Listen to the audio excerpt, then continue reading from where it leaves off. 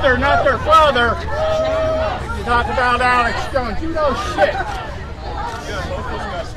Let's talk about the reality of who should be in jail is the man who is using our U.S. Treasury for his private piggy bank and going golfing at his own golf resort every weekend and charging the American taxpayers for it.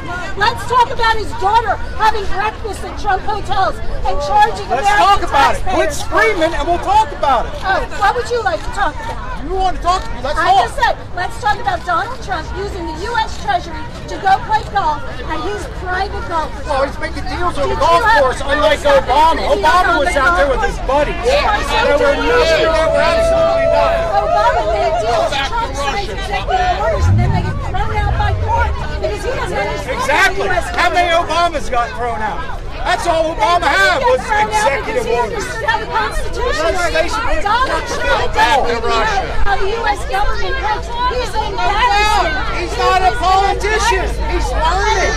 He's not a learning. minute.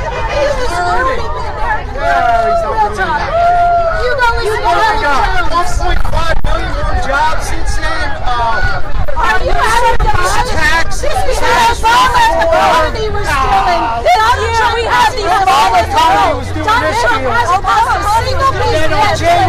Donald Trump a Look at the stock market.